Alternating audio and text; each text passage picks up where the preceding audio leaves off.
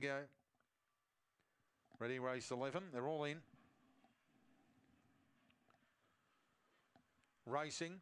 And Release the Rage begins well near the inside. He's going to go through and trying to hold them out initially. Going around at a Boy of Bale. Release the Rage getting up on the rail and wide out Silver Ability. Followed by Studley and Wellback Sarah's Hand and Sophia's Hope and the rest. Tailing out Global Fix and Body Hack. But Release the Rage went up on the rail. Takes the lead to a Boy of Bale and the Release the Rage comes away. Studley grabs second on the post to a Boy of Bale Silver Ability. Followed by Sophia's Hope. Then Sarah's Hand and Wellback are both Body Hack and Global Fix. And the run there is 22.11. 22.11 to number two, Release the Rage. Number two first to Release the Rage. Beats number four, Studley. Third three, A Boy of Bale.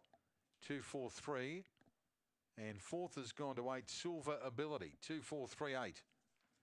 Two, four, three, eight runs fourth. 832, 1379, 2211, 2438's fourth. And the winner, Release the Rage for